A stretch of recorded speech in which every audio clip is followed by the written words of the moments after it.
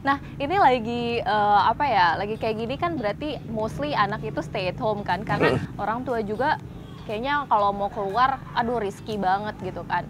Nah, ketika stay at home kira-kira gimana sih, Dok, sebagai dokter anak ada nggak sih cara supaya anak itu nggak jenuh atau mungkin gimana ya? Apa dengan kondisi kayak gini mempengaruhi si anak itu sendiri dari segi psikologis atau fisik atau kayak gitu, Dok? Pasti. Jadi kita aja yang stay at home bosen.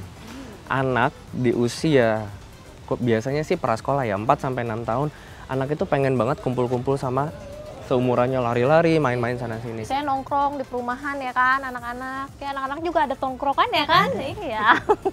Jadi memang kondisinya mereka itu butuh bermain. Oke. Tapi saat ini dengan kondisi pandemi dia nggak boleh main. Oh, oh. Jadi harus di rumah aja. Gimana caranya? Ya si orang tua yang stay at home mau nggak mau harus ngajakin main. Jadi teman bermainnya dia. Jangan sibuk sendiri, main-main gini sama gadget nanti terakhir Ah, besar. apa yang besar dok? Perutnya Oh, besar. iya. Iya. Aduh. Jadi memang akhirnya kita harus memutar otak si orang tua gimana caranya supaya akhirnya si anak nggak bosan boleh nggak sih keluar? Boleh kalau saya sih bilang boleh aja lu main-main deh keluar gitu. Tapi jalan-jalan dalam mobil. Hmm, main deh ke depan rumah. Lari-lari bareng main bola boleh. Boleh.